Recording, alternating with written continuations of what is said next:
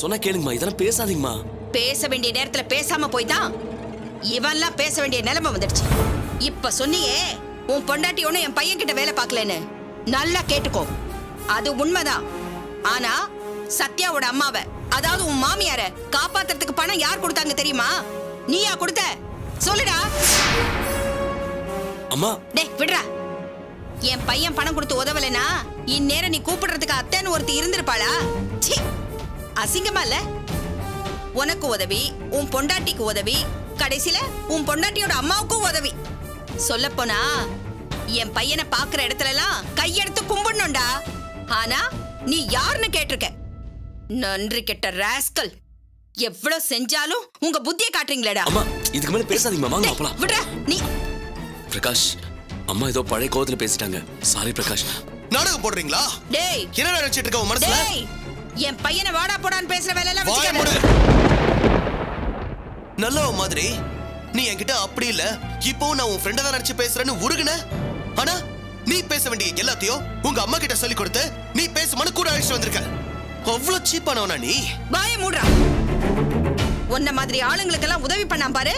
இவனாடா சீப்பானவன் உங்களுக்கெல்லாம் அப்படித்தான்டா தெரியும். ஆனா சீப்பானவன் செய்யற உதவி மட்டும் உங்களுக்கெல்லாம் இனிக்குமே. நன்றி கெட்டவங்கடா நீங்கெல்லாம். வாங்கம்மா போலாம். சீ வாங்க. இவங்க கிட்ட எல்லாம் பழக கூடாதுடா தராதரம் தெரியாதவங்க. இவங்களுக்கெல்லாம் ஏன்டா நீ உதவி செஞ்ச? இதெல்லாம் நமக்கு தேவையா?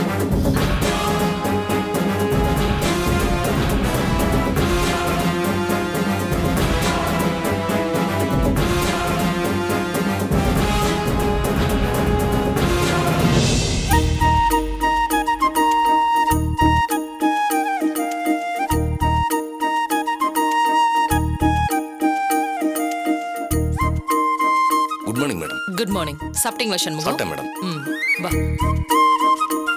வா.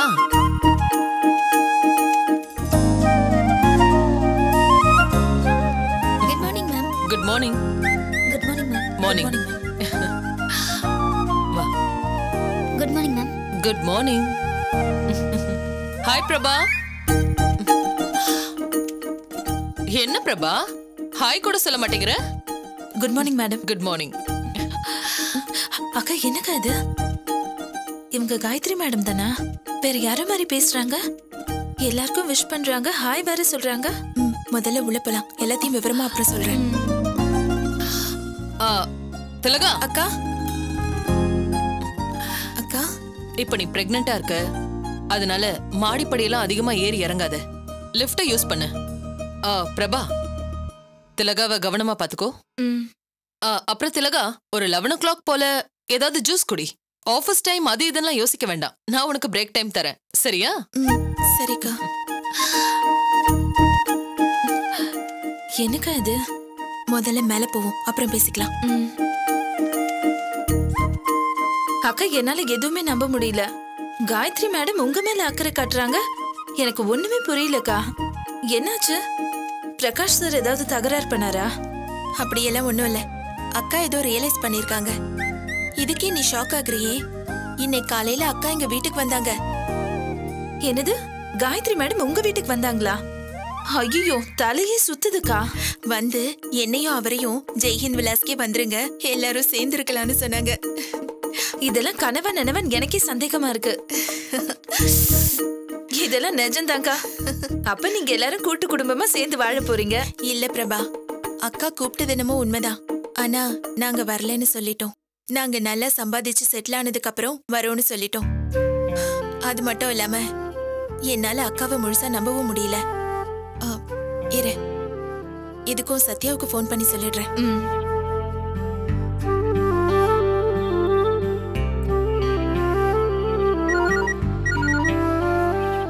என்னக்கா ஆபீஸ் போல? நான் ஆபீஸ்ல இருந்து தான் பேசுறேன் சத்யா.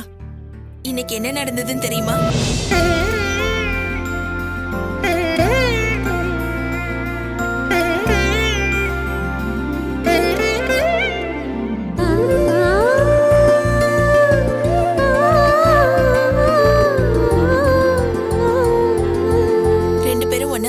ஆட்டோல வந்து இறங்கணும். நல்ல விஷயம் தானேக்கா. அப்போ நீங்களும் வீட்டுக்கு வந்துருங்க. இல்ல சத்யா.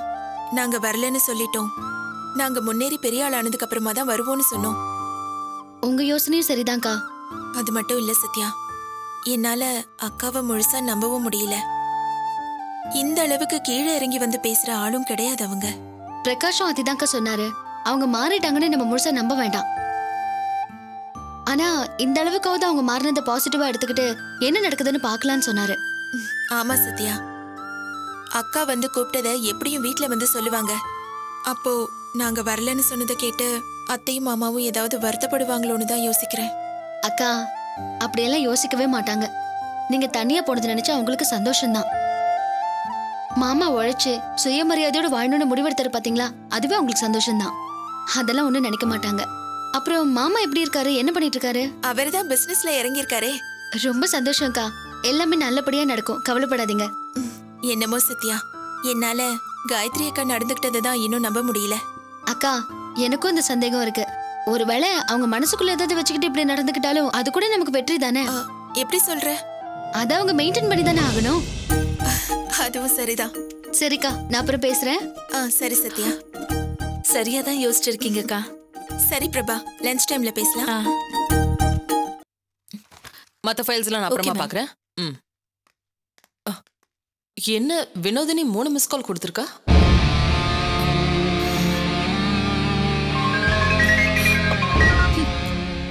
என்னக்கா? உனக்கு நான் எத்தனை தடவை தான் ஃபோன் பண்றது? ஹேய் மீட்டிங்ல இருந்தேன்டி. என்ன விஷயம்? அக்கா! என்ன வினோ? ஏன் குரல் உடையுது. அக்கா நீ எப்பேற்பட்ட ஆளு? உன் தகுதி என்ன? தராதரம் என்ன? நீ போய் அவர் கால்ல விழுந்துட்டியே. சரி அதுதான் போச்சுன்னு பார்த்தா இன்னைக்கு ஒரு வேலைக்காரி மாதிரி வாசல்ல கோலம் போடுறதுல இருந்து எல்லா வேலையும் இழுத்து போட்டு பண்ற? உனக்கு என்னக்கா ஆச்சு ஏன்க்கா இவ்ளோ இறங்கி வர? ஹே வினோ முதல்ல இப்படி ஃபீல் பண்றதை நிறுத்து. இதெல்லாம் நடக்கதானே செய்யும். என்னது? ஃபீல் பண்றத நிறுத்தா? எனக்கு எவ்வளோ கஷ்டமா இருக்கு தெரியுமா? எவ்வளோ கம்பீரமா இருப்ப நீ? உன் பார்வைக்கு உன் ஆபீஸே நடுங்கும். நீ என்னடான்னா இந்த வீட்ல சமையல் பண்ற துணி துவைக்கிற பாத்ரூம் கழுவுற அளவுக்கு போயிட்டியேக்கா? உனக்கு என்ன தலையெழுத்தா? தலையெழுத்தான்னு கேக்குறேன். என் நினைவு தெரிஞ்சு நீ இப்படி வேலை செஞ்சு நான் பார்த்ததே இல்லக்கா. எப்படி வளர்ந்தவ நீ? இந்த குடும்பத்துக்காக ஆபீஸ்ல உழைச்சு கொட்டுறது பத்தாதுன்னு? வீட்லயும் இதுங்களுக்கு பணிவிட செய்யணுமா? ஹே விட்ரி நம்ம வீடு தானே? என்ன நம்ம வீடு? அவங்க தான் செஞ்ச நன்றி எல்லாத்தையும் மறந்துட்டாங்க. இந்த குமார் மாமா அதுக்கும் மேல. என்னமோ நீ பாலை கொண்டு போய் கொடுத்ததுக்கு உன் மேல சந்தேகப்பட்டு அசிங்கமா பேசினாராமே. என் வீட்டுக்கார் சொல்லி புலம்புனாரு. அதான்க்கா யானை இழைச்சா எலி குடும்பம் நடத்தலாம் வான்னு கூப்பிடுமா. ஏன்க்கா நீ ஏன்க்கா இவ்ளோ இறங்கி வந்த. உனக்கு தேவையாக்கா இந்த பேச்செல்லாம்? ஹே வினோ இரு இரு. ஏன் ரொம்ப ஃபீல் பண்ற? இந்த குடும்பத்துக்காக நீ இவ்ளோ செஞ்சும் அவங்க உன்னை நடத்துற விதத்தை பார்க்கும்போது என் நெஞ்சே வெடிச்சிரும் போல இருக்குக்கா. யாருக்கா நீ? யாரு? உன் ஆளுமை என்ன? கம்பீரம் என்ன? நீ போய் இதுங்க கால்ல விழுந்து வேலையெல்லாம் செஞ்சு இதெல்லாம் உனக்கு தேவையா? ஹே வினோ நான் சொல்றத கொஞ்சம் பொறுமையா கேளு. என் மேல உள்ள பாசத்தினால நீ கொதிக்கிற. எனக்கு புரியுது. ஆனா இதெல்லாம் உண்மைன்னு நம்பியா நீ பேசுற?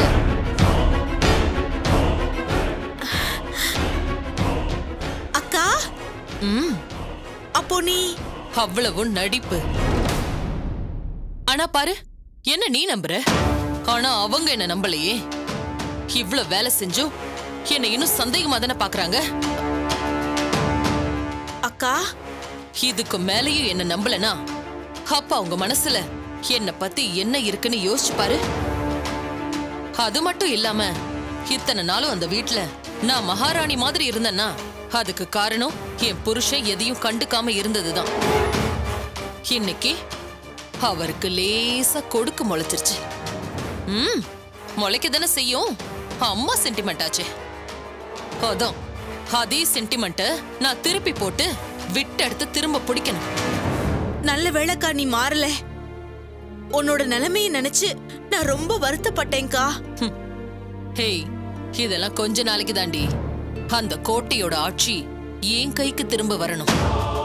அதுக்கு என் புருஷன் என்ன நம்பணும். அக்கா? ஆமா வேணும் என் புருஷன் என் பக்கம் இருந்த வரைக்கும் தான் எல்லா அதிகாரமும் என் கையில இருந்துச்சு. பார்த்தல? அந்த ஒரு ஆள் ஒரே ஒரு ஆள் அந்த வீட்ல எனக்கு எதிரா திரும்பினதுனால என்ன நடந்துச்சுன்னு பார்த்தல? இனியும் அவர் ஏன் பிடியில இருக்கணும்னா நான் பால்ல மாத்திரையை கலந்து கொடுக்கறதோ இல்ல என் அழகு காட்டி மயக்கலாம்னு நினைக்கிறதோ எதுவும் உதவாது.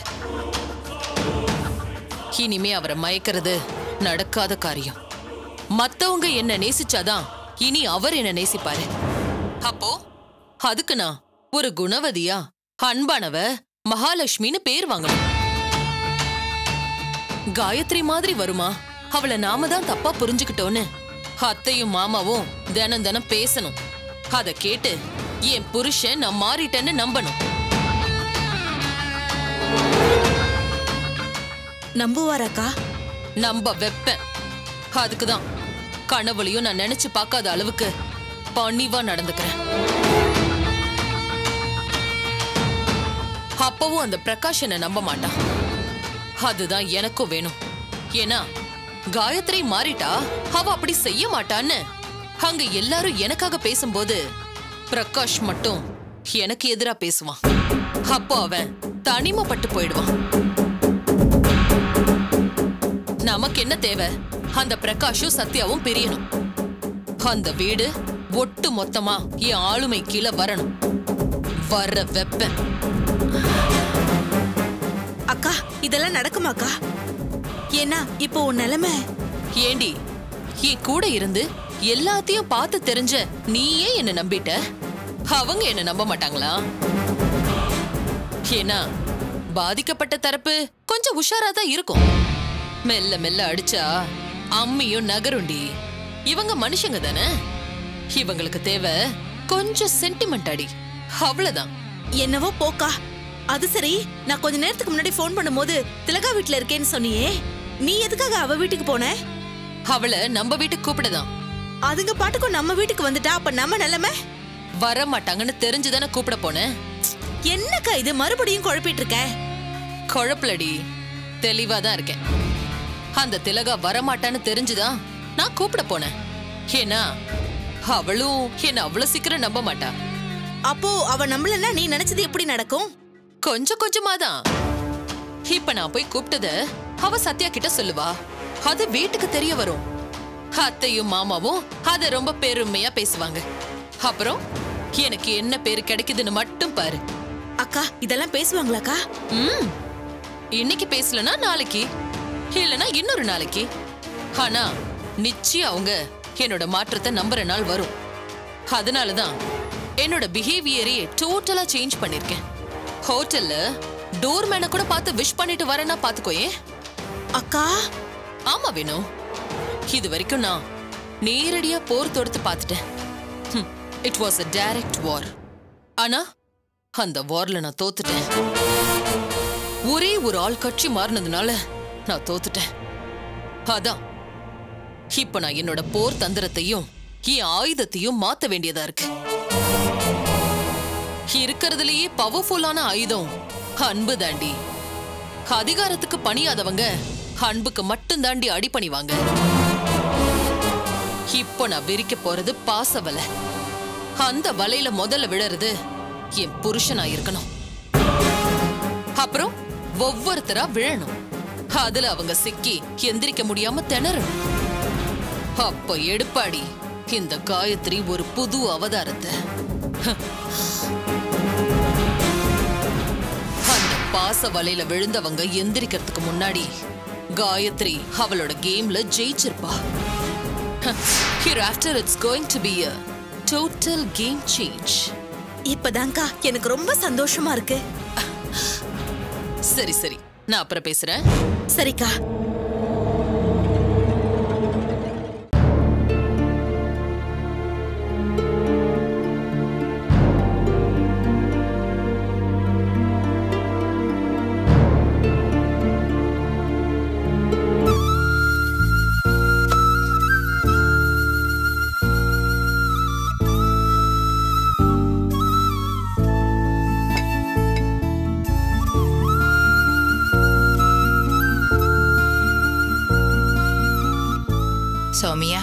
என்னம்மா? டிஃபன் வச்சபடியே இருக்கு. சாப்பிடல? நீ ஏன் சாப்பிடல? எதுக்கு சாப்பிடலன்னு? கேட்கலாமா வேண்டாமான்னு எனக்கு தெரியல. உங்க அம்மா சொன்னது இன்னைக்கு இல்லை. என்னைக்கும் என் மனசை விட்டு போகவே போகாது. ஆனா உன் விஷயத்துல நான் அப்படி இருக்க முடியாது. ஏன்னா உன்னை என் பொண்ணாதான் நான் பாக்குறேன். உன்னையும் சேர்த்து எனக்கு நாலு பொண்ணுங்கன்னு தான் இப்போ நினைச்சிட்டு இருக்கேன். என் பொண்ணா நீ சாப்பிடாம இருக்கிறத பார்க்க எனக்கு கஷ்டமா இருக்குமா? அம்மா. உன் மனசுக்குள்ள என்ன வருத்தம் இருக்கு? உன் பிரச்சனை என்னன்னு எனக்கு தெரியாது. அதுக்காக நீ உன் உடம்ப கெடுத்துக்கிறது நல்லதுக்கு இல்ல. தயவு செஞ்சு சாப்பிடு. இதை எதுக்கு நீங்க சொல்றீங்கன்னு என்ன கேட்டா எனக்கு பதில் சொல்ல வார்த்தை இல்ல. சாப்பிடு. பொண்ணு பட்னியா இருந்தா அம்மாவுக்கு கஷ்டம். அம்மா. சௌமியா? எல்லாம் போச்சும்மா. என்னம்மா சொல்ற? என்ன போச்சு? நான் பண்ணதுக்கெல்லாம் சேர்த்து இப்ப அனுபவிக்கிறேன். என்னம்மா சொல்ற? என் சந்தோஷம் தான் முக்கியம். என் கனவு தான் முக்கியம் நினைச்சு கல்யாணம் பண்ணல. இப்ப அந்த வாழ்க்கை. அவன் மோசமானவன். நான் ஏமாந்துட்டேன். என்னம்மா சொல்ற? மாப்பிள்ளைவா சொல்ற? அவன் மனுஷனே இல்லம்மா. ராஸ்கல். அவனுக்கு ஆண்மை இல்லைங்கிறதுக்காக என்ன சிகரெட்டால சூடு வச்சு எவ்வளவு கொடுமைப்படுத்துறான்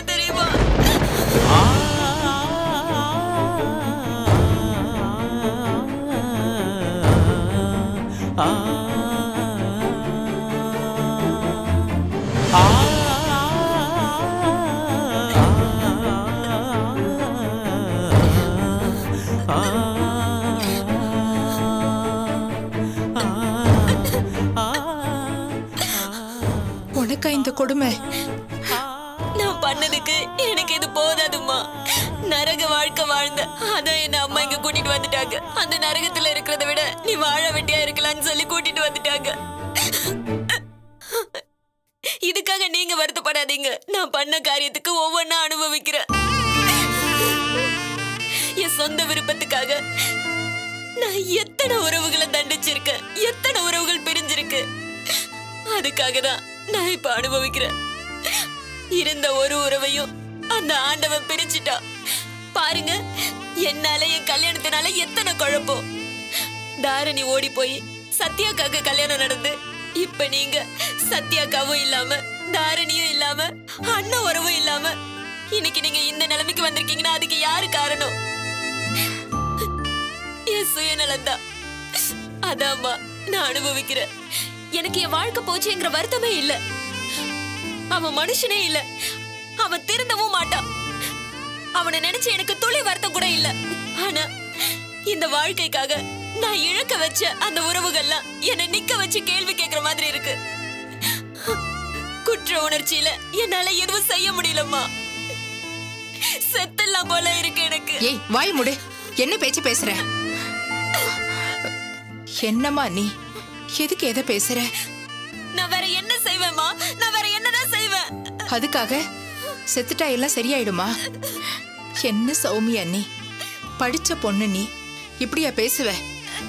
அப்படி ஒரு எண்ணம் இருந்தா அதை முதல்ல அழி. இப்ப என்ன ஆயிடுச்சு நீ இந்த பேச்சு பேசுற? என்னம்மா நீ? இந்த காலத்து பொண்ணுங்களுக்கு எதை எப்ப பேசணும்னே தெரியல. கேட்டா இந்த காலத்துல தான் நாங்க விமானம் ஓட்டுறோம் ரயில் ஓட்டுறோம்னு சொல்ல வேண்டியது.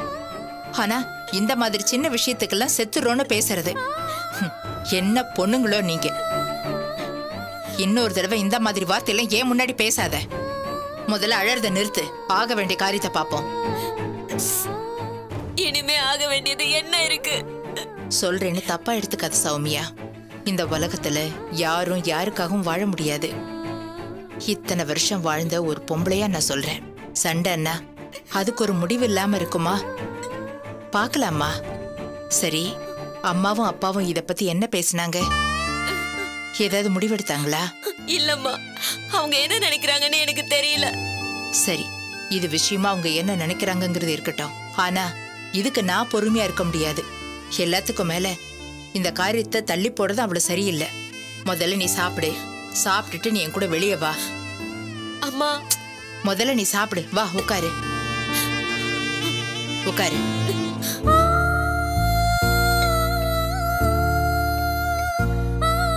சாப்பிடுமா. என்ன சேட்டு? கடை திறக்க எவ்வளவு நேரமா? அதோ இருங்க இருங்க. முதல்ல கடையை திறந்துடுறோம் ஆ, இருங்க. ஆ இருமச்சா சேட்டு நான் தான் முதல்ல வந்தேன். எனக்கு கொடுங்க. நான் எண்ணூர்ல இருந்து வந்திருக்கிறேன். எனக்கு தான் முதல்ல கொடுக்கணும். சேட்டு நான் காஞ்சிபுரத்துல இருந்து வந்திருக்கேன். சேட்டி நான் திருவள்ளூர்ல இருந்து வரேன். அங்கேயும் ஒரு கடை போடலாம்ல. நாங்க எங்கேயும் அலையிறது? அங்க நிறைய பேர் இருக்காங்க.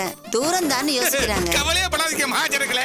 உங்களுக்காக எங்களோட பிரான்ச்ச கன்னியாகுமரியில இருந்து டெல்லி வரைக்கும் திறக்க போறோம். எல்லாம் உங்களோட ஒத்துழைப்போட தான். சரி சரி. எல்லாரும் வரிசையில இருங்க எல்லாருக்கும் பணம் கிடைக்கும். சரி சரி. வாசகல வா.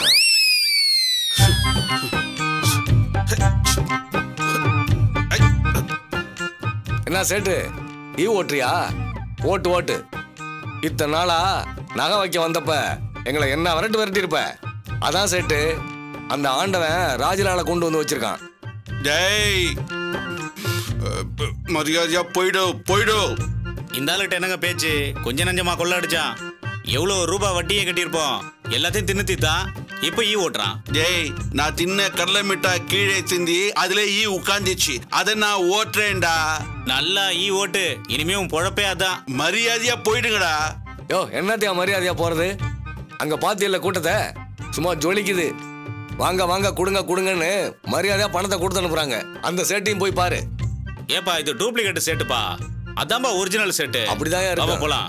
அடப்பாவீங்களா அவங்க திட்டு பசங்க அவங்களே சேட்டுன்னு சொல்லி ஏன்டா என் மாந்தே வாங்குறீங்கோ? ஐயோ ஐயோ.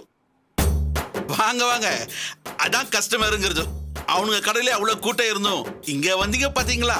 என்ன கொண்டு வந்திருக்கீங்க? பணம் கொண்டு வந்திருக்கேன். இந்தா ரசீது இந்தா என் நகையை கொடு. இந்தாங்க. எதுவும் அடகு வைக்கிறதா இருந்தா இங்கேயே வாங்கோ. எதுக்கு? ரெண்டரை வட்டி கொடுத்து வாங்குறதுக்கா? இப்ப இந்த நகை எதுக்கு மீட்டும் தெரியுமா? அந்த கடையில கொடுத்து அடகு வைக்கத்தான். இனிமே நான் மட்டும் இல்ல வேற யாரும் இந்த கடைக்கு வர மாட்டாங்க இதுக்கு மேலே போச்சுன்னா முதலுக்கே மோசமாயிடுமே. நவருங்க,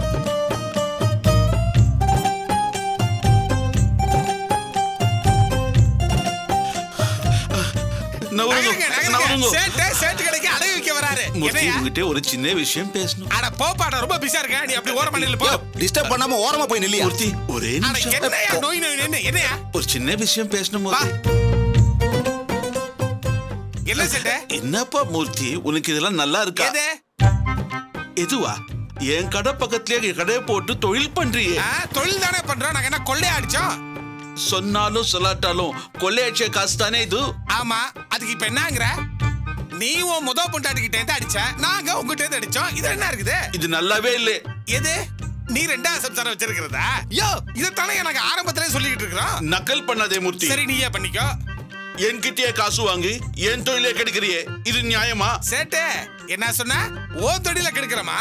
என்னத்த கெடுத்தோம்? யோ உங்ககிட்ட தானே பழக்க வழக்கம்னா அடகு வைக்க வந்தோம். அது எதை வைக்க வந்தோம்? எங்க காரை. ஆனா நீ என்ன சொன்ன? சொல்லு. என்ன சொன்ன? சொட்டக்காரு டப்பாக்காரு பத்தாயிரம் தான் தருவேன்னு சொன்ன ஒழுங்கா நாங்க கேட்ட காசை நீ கொடுத்திருந்தா இந்த நிலைமை உனக்கு வந்திருக்குமா ஐயா? இப்ப பாரு உடனே நாங்க அடகு வாங்குவோம். என்ன வரியா? சரி அதெல்லாம் இருக்கட்டும். என்கிட்டே வாங்கினது அஞ்சு லட்சம். வாடகை விளம்பரம் நேத்து அடகு வச்ச நகைக்கே கொடுத்தது. அதுக்கே சரியா போயிருக்குமே. இப்போ எப்படி இவ்ளோ காசு வந்துச்சு? காதை கொட்டா சொல்ற. சொல்லு சொல்லு. அந்த காசு அப்படித்தான் வந்துச்சு. ஏயா நீ அவ்வளவு விவரம் ஆ? தமிழ் அண்ணன் என்ன நினைச்ச? அடகு மட்டும் தான் வைப்பானுவான்னு நினைச்சியா? வச்சோம்ல? அடகு கடையே வச்சோம்ல? என்ன தொழில் ரகசியத்தை போட்டு வாங்கலாம்னு பாக்குறியா?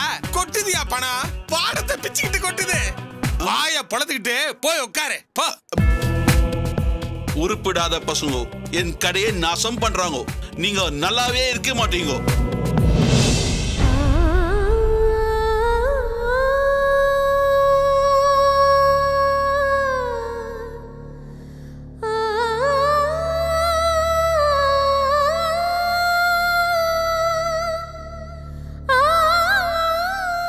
சௌமியா? அம்மா வாம்மா. ஒரு நிமிஷம் இருமா விளக்கு எவ்வளோங்க? தட்டு இருபத்தஞ்சு ரூபாமா ஒரு தட்டு கொடுங்க. அப்படியே அரளி பூவும் கொடுத்துருங்க. சரிம்மா.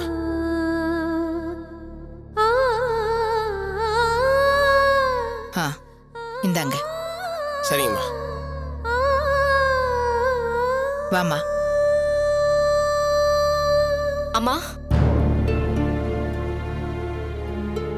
வேண்டாம்மா இங்க வேண்டிக்கிட்டா மட்டும் என்ன நடந்துற போகுது சௌமியா ஏம்மா இப்படி பேசுற? சாமி கும்பிட்டுட்டு விளக்கேத்தி வை. எல்லாம் நல்லபடியா நடக்கும். இல்ல வேண்டாமா? கோயிலுக்கு வந்துட்டு இப்படி பேசக்கூடாதும்மா எனக்கு இந்த வாழ்க்கையே வெறுத்து போச்சு. சௌமியா. ஆமாம்மா. என்ன நினைச்சு நான் விளக்கு போடுவேன்? அந்த கொடுமையான வாழ்க்கை திரும்ப கிடைக்கணும்னா? நல்ல வாழ்க்கை வாழ்ந்து ஏதோ ஒரு பிரச்சனைனா நம்பிக்கையோட கடவுளே என்னை கைவிட்டுறாதன்னு வேண்டிக்கலாம்.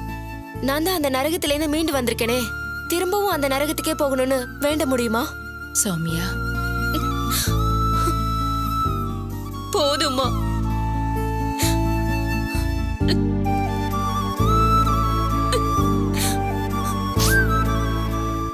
நான் வாழ்ந்த வாழ்க்கை போதும்னு நான் முடிவெடுத்துட்டேம்மா. என் சுயநலத்துக்கு தண்டனை கொடுத்த ஆண்டவன் என்ன மறுபடியும் தண்டிக்கணும்னா அந்த ஆள் கூட தான் வாழணும்னு சொல்லணும். அதான் வந்துட்டேனே. வாழ வெட்டியாவே இருந்துட்டு போறேம்மா.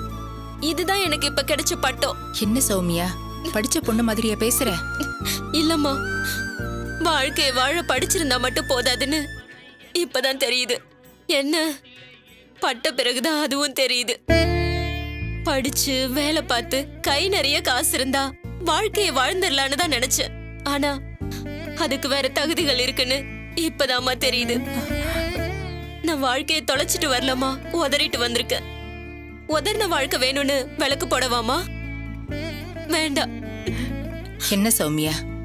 நான் உன்னை என்னமோன்னு நினைச்சேன். ஆனா நீ சரியாதான் புரிஞ்சு வச்சிட்டு இருக்க அம்மா? என்ன? வாழும்போது அர்த்தம் தெரியாம வாழ்ந்துட்டு பிரிஞ்சு வந்ததுக்கு பிறகு அதுக்கு அர்த்தம் தெரியுதுன்னு சொல்ற. அதான் ஏன்னு தெரியல.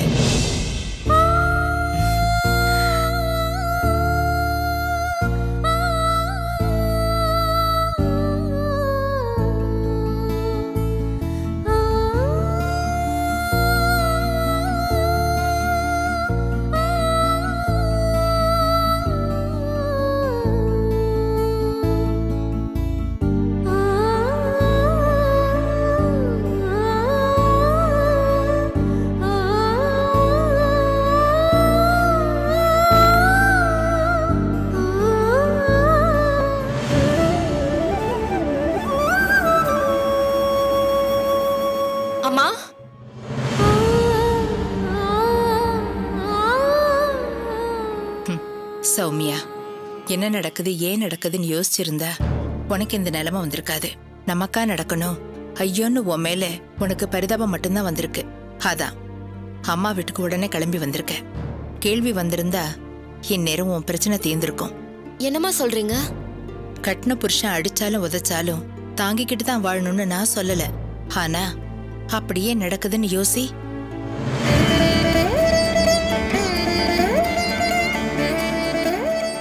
மேல தப்பு இருக்கலான்னு சொல்றீங்களாம்மா? ஏன்? அவர் மேல தப்பு இருந்து அந்த ஏழாமையில உன்னை தண்டிக்கணும்னு நினைச்சா?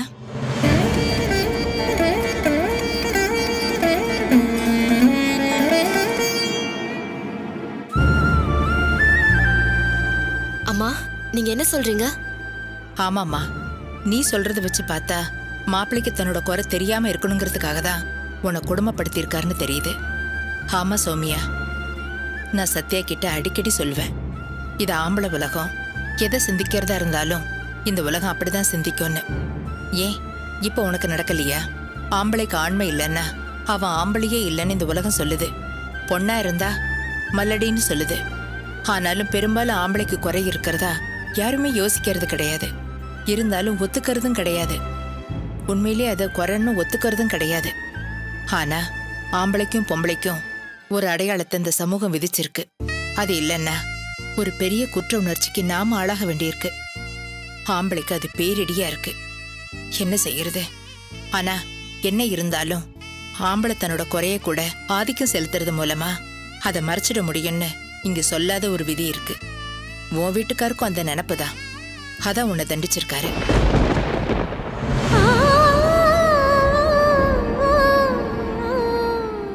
எங்க ஆஸ்பத்திரிக்கு கூட்டிட்டு போனா உண்மை தெரிஞ்சிடுமோங்கிற குற்ற உணர்ச்சியில உன்னை கொடுமைப்படுத்தியிருக்காரு.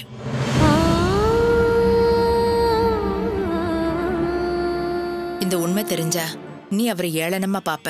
அவரை மதிக்க மாட்டேங்கிற ஆம்பளத்தனத்தால தான் அவர் இத்தனை கொடுமையும் பண்ணியிருக்காரு.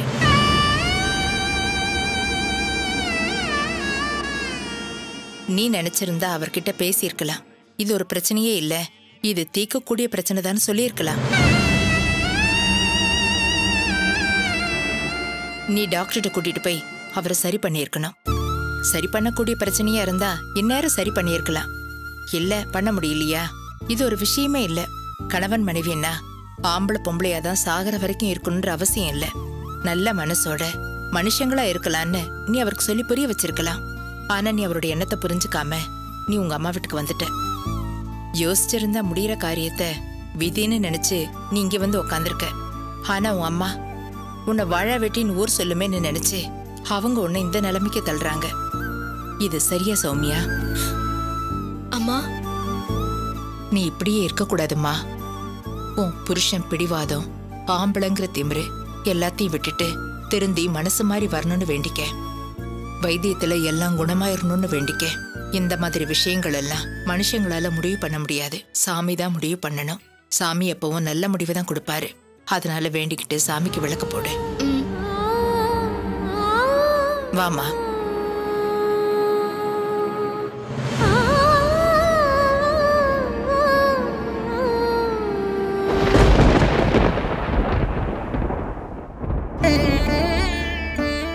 சாமி நீ தான் எல்லாத்தையும் பார்த்துக்கணும். சுரேஷ் மாமா என்னை விட்டு எங்கேயும் போக கூடாது நான் சாகர வரைக்கும் அவரு கூட தான் இருக்கணும்.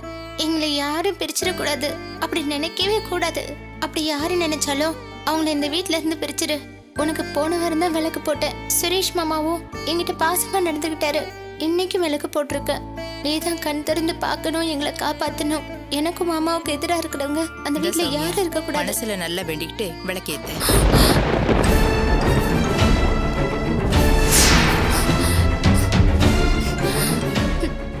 சாமியை நல்லா கும்பிட்டுக்க. நீ நினைச்சபடி நீ விரும்பின வாழ்க்கை உன் ஆசைப்படியே புதுசா அமையும். நீ சந்தோஷமா வாழ்வ. உனக்கு பிடிச்சதெல்லாம் நடக்கும்மா. நல்லா வேண்டிக்கம்மா. ஓ அத்தை கூட சேர்ந்துக்கிட்டு இவங்க சௌமியாவை என் மாமாவுக்கு கட்டி வைக்க பாக்குறாங்களா? அதான் புது வாழ்க்கையா?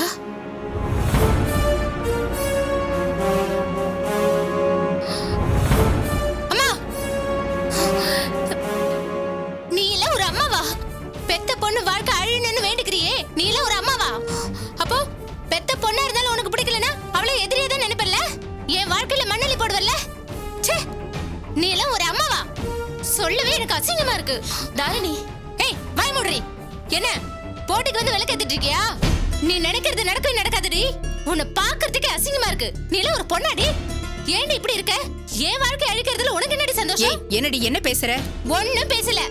நீங்க ரெண்டு பேரும் நினைச்சதே நடக்காதுன்னு சொல்றேன். உங்க மூஞ்சில முழிக்கிறது எனக்கு பாவமா இருக்கு. அடே சௌமியா நீ நல்லாவே இருக்க மாட்டடி. உன் வேண்டுதல் பலிக்கவே பலிக்காது ஆண்டவன் ஏன் பக்கம் தான் இருக்கான். நான் நினைச்சதுதான் நடக்கும். ச்சே. என்னம்மா ஆச்சு தாரணிக்கு? ஏன் அவ இப்படி பேசிட்டு போறா? எனக்கு அதாம புரியல. நீ விளக்கு போடுறதுல அவளுக்கு என்ன கோவம்? போட்டிக்குன்னு சொல்றாளேம்மா. சரி விடு. அவளுக்கு எப்ப என்ன பேசுறதுன்னே தெரியாது. ஏதோ உளறிட்டு போறா. நீ எதையும் மனசுல வச்சுக்காதம்மா. இல்லம்மா. காரணமே இல்லாம ஏன் பேசுறான்னு தான் குழப்பமா இருக்கு. விடுமா அவ எப்பவுமே இப்படிதான் சில நேரத்துல அவ பேசுறது அவளுக்கே புரியாது. சரி வா சாமி கும்பிடலாம் வா. வா பிரகாஷ். என்னப்பா ஏன் ஒரு மாதிரி இருக்க? டேய் சொல்றா. நான் தான் கேட்டுக்கிட்டே இருக்கேன்ல. வாயை திறந்து சொல்றா. டேய் பிரகாஷ்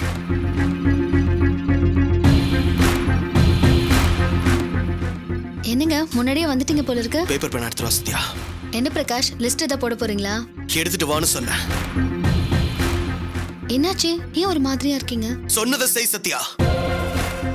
பிரகாஷ். பேப்பர் பேனா எடுத்துட்டு வா. டேய் என்னடா ஆச்சு உனக்கு?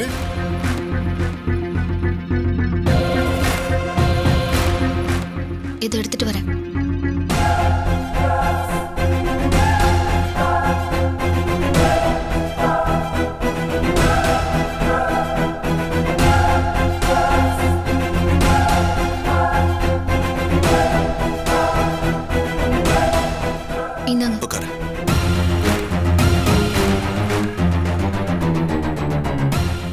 ரெசிக்னேஷன் லெட்டர் எழுது. என்ன சொல்றீங்க பிரகாஷ்? ரெசிக்னேஷனா யாருக்கு? உனக்கு தான் இனி ஆபீஸ் போக வேண்டாம். பிரகாஷ் என்னாச்சு உனக்கு? மானம் போச்சு. என்னடா சொல்ற? புரியும்படியா சொல்லு. எது புரியும்படி சொல்றது? என் மானம் போன விஷயத்தியா? இல்ல என் ஆபீஸ்ல கூனி குறுகி நின்னதியா? பிரகாஷ்! போச்சு. எல்லாம் போச்சு. என் வாழ்க்கையில இவ்வளவு பெரிய அவமானத்தை இது வரைக்கும் சந்திச்சதே இல்ல. அந்த பொம்பளை அதான் கார்த்திகோட அம்மா. என்னெல்லாம் பேசினா தெரியுமா? யாராவது என் முதுகு பின்னாடி சிரிச்சாலே கூப்பிட்டு வச்சு அடிப்பேன். அந்த கேள்வி ஆபீஸ்ல வச்சு ச்சே, பிரகாஷ் அவங்க பேசினாப்பா. பேசினா.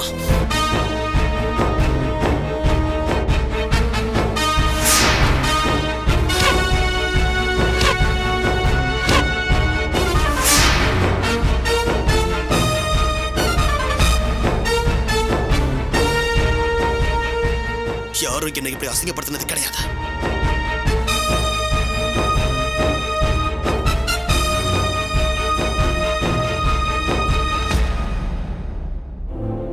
சாரி மாமா. கொஞ்சம் லேட் ஆயிடுச்சு. ஜிஎம்மா இருக்கிறதுனால உடனே கிளம்ப முடியல. சாரி இப்போ காஃபி போட்டு கொண்டு வந்துடுறேன். என்ன சத்யா? என்னாச்சு? என்னப்பா? என்ன நடந்தது? என்ன மாமா? என்னாச்சு? ஏதாவது பிரச்சனையா? பிரச்சனை எல்லாம் இல்லம்மா. ஆனா பிரகாஷ். என்ன மாமா சொல்றீங்க? பிரகாஷ் ஆபீஸ்க்கு கார்த்திக்கும் அவங்க அம்மா வந்திருக்காங்க.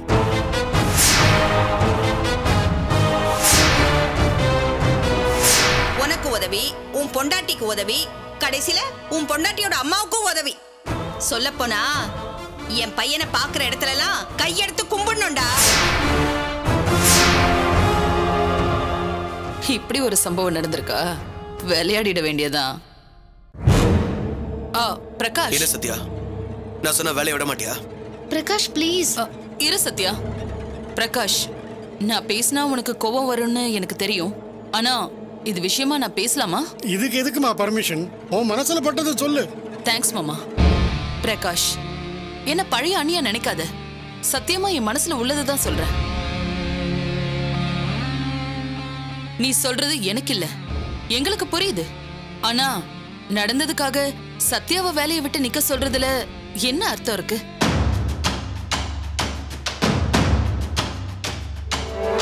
ஆமா பிரகாஷ். உனக்கும் கார்த்திக்கும் சண்டை இல்ல. அவங்க அம்மாவுக்கும் உனக்கும் தான் மனக்கசப்பு வந்திருக்கு. இது நான் மாமா சொன்னதை வச்சுதான் சொல்றேன். உனக்கு கோபம் வந்தா நீ அங்கேயே அவங்கள பேசியிருக்கலாம். ஏன்? கோச்சிருக்கலாம். இன்னும் சொல்ல போனா ஒருத்தர் நம்மள அவமானப்படுத்தினா நாம பாத்துக்கிட்டு நிக்கணும்னு அவசியம் இல்ல. நீயும் அவங்கள அவமானப்படுத்திருக்கலாம் அதுல எந்த தப்பும் இல்ல. அப்படி நடந்திருந்தா அது உங்க ரெண்டு பேரை மட்டும்தான் பாதிக்கும். அந்த அம்மா பேசுனத கார்த்திகே ஏத்துக்கலன்னு தெரியுது. அப்புறம் என்ன?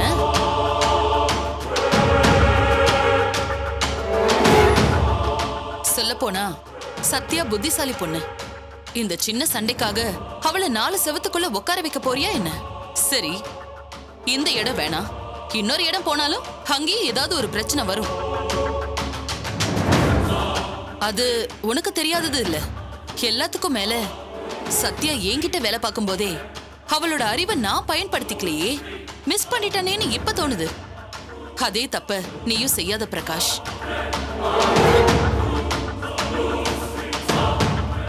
பெண்களுக்கு வேலைக்கு போறதுங்கிறது ஒரு சுதந்திரம் ஒரு விடுதலை. அதை முடக்க நினைக்கிறியா? சத்யா மாதிரி ஒரு பொண்ணுக்கு வேலைங்கிறது ஒரு அடையாளம். அதை அழிக்க நினைக்காத பிரகாஷ். கொஞ்சம் புரிஞ்சுக்க விட்டு கொடு. லெக்சர்லாம் முடிஞ்சதா? என்ன மாமா அது? பிரகாஷ் இப்படி பிடிவாதம் பிடிக்கிறாரு? சத்யா நீ வேலையை விட்டுரு. இதுதான் நான் வேலைக்கு போக வேண்டாம்னு சொல்றது காரணமா? நான் சொன்னது எந்த கேள்வியை கேட்காம நீ வேலையை விட்டுருக்கணும். நான் இத்தனை காரணம் சொல்லியும் நீ இதுதான் காரணமான்னு கேட்டா நான் என்ன சொல்றது? வேலையை விடுனா விடு அவ்வளவுதான்.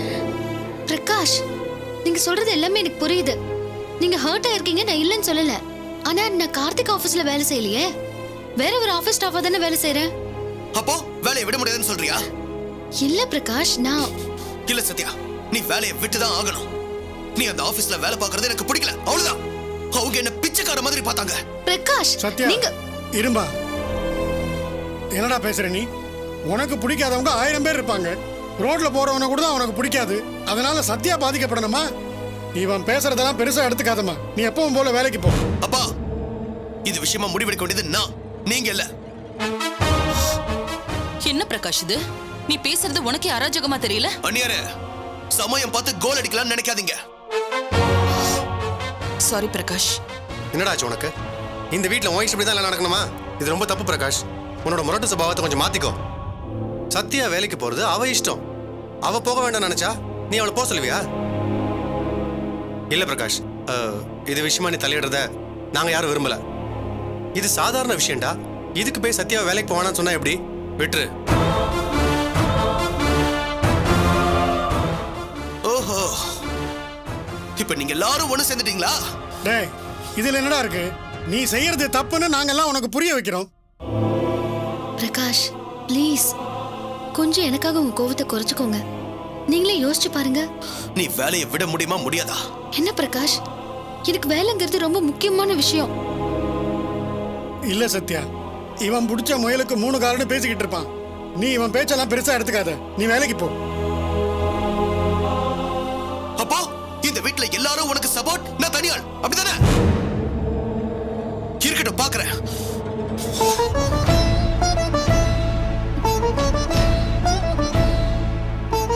சத்யா அவன் பேசுனதெல்லாம் நினைச்சு மனசுல வருத்தப்படாதம்மா. இல்ல மாமா.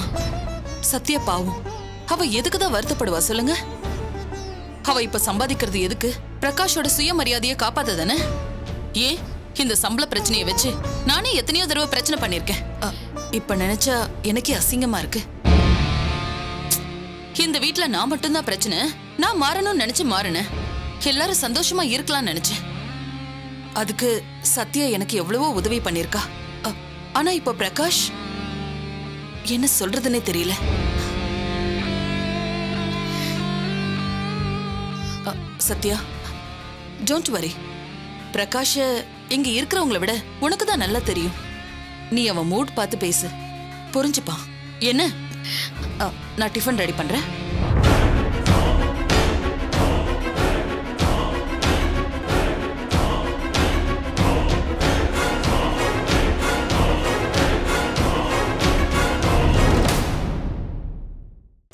என்ன? சப்ஸ்கிரைப் பண்ண சொல்லி அந்த பிரகாஷ் சொன்னானாமே. இப்ப நான் சொல்றேன். நீங்க யாரும் கீழே இருக்கிற சப்ஸ்கிரைப் பட்டனை கிளிக் பண்ணவே கூடாது. கிளிக் பண்ணாதீங்கன்னு சொல்றேன்ல. பண்ணாதீங்க.